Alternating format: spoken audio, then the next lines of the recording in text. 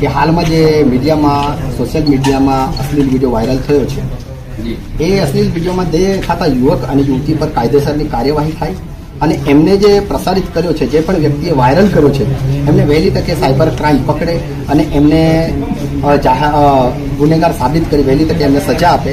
અને બીજી એવી માંગણી કરી છે કે કે જે બે દિવસ પહેલાં આવેદન આપ્યું છે એમાં કુકરમુટામાં જે બેન્ડ પર પ્રતિબંધ મૂકવા જેવી વાત કરવામાં આવી છે એમાં એના એની વિષયમાં અમે આવેદન આપ્યું છે કે કુકરમુંડામાં કોઈ પણ બ્રેન્ડ પર પ્રતિબંધ ના મૂકવામાં આવે, જેથી જેમાં જે કામ કરતા કલાકારો છે, એમની રોજગારી ના છીનવાય, એ ધ્યાને આપે એવી અમારી માંગણી મૂકી અમે મામલતદારશ્રીને આવેદનપત્ર આપ્યું છે. જે, તમારી રજૂઆત ખરેખર સારી છે.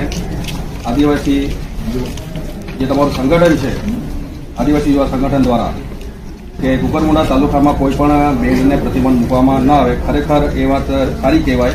પરંતુ જે અશ્લીલ વીડિયો વાયરલ થયો છે, એમાં યુવક અને યુવતી પર કડક પગલાં લેવામાં આવે, એ બાબતે શું કહેશો તમે? અમારી એ તો સૌથી પહેલી માંગણી એ જ છે કે જે પણ યુવક કે યુવતી છે, એમના પર કાર્યવાહી થાય અને ખાસ કરીને તેમણે પર વાયરલ કર્યું છે, એ મુખ્ય ગુનેગાર છે. બનાવવાળા પણ એટલા જ ગુનેગાર છે, તો એમને વહેલી તકે સાયબર ક્રાઇમ અથવા તો પોલીસમાં કે એફઆઈઆર રજીસ્ટ્રેશન થાય કારણ કે આજ સુધી માહિતી નથી મળી કે એફઆઈઆર રજીસ્ટ્રેશન થઈ છે, એવી કોઈ માહિતી નથી મળી તો વહેલી તકે એમના પર કાર્યકારી કાર્યવાહી કરી અને જે ગુનેગાર નથી, એમને ગુનેગાર ના ઠેરવવામાં આવે, એ અમારી ઈચ્છા છે અથવા એ અમારી માંગ છે. ખરેખર. અને જે આદિવાસી બેડો છે, કે અન્ય બેડો છે, એમાં મહિલાઓને રાખવામાં આવે છે, તો કોઈ પણ બેડો મહિલાઓને રાખતા પહેલા તકેદારી રાખવી જોઈએ, એ બાબતે શું કહેશો?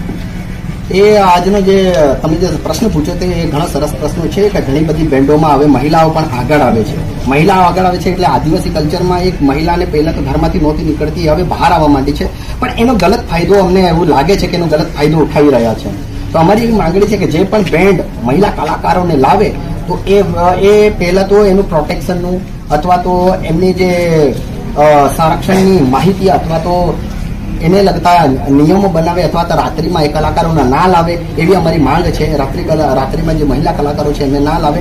આ લાવે તો એની પ્રોટેક્શનની જિમ્મેદારી અથવા તો એને સંરક્ષણ આપવાની જિમ્મેદારી ટોટલી બેન્ડ અથવા બેન્ડના માલિકની રહેશે. જે મેરેજમાં કે કોઈ જે સંગઠન સંગઠન દ્વારા જેમને લાવવામાં એમની રહેશે નહીં. એની ટોટલી કાર્યવાહી કે એમની ટોટલી જવાબદારી બેન્ડના માલિકની રહેશે કે જે લેડીઝને, લેડીઝ કલાકારને લાવે તો એનું પ્રોટેક્શન આપવામાં આવે.